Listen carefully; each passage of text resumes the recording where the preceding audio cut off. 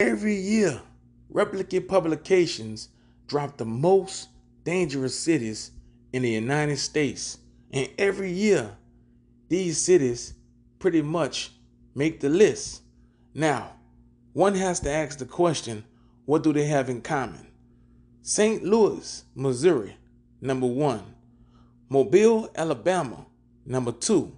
Birmingham, Alabama, number three. Baltimore, Maryland, number four. Memphis, Tennessee, number five. Detroit, Michigan, number six. Seven, Cleveland, Ohio.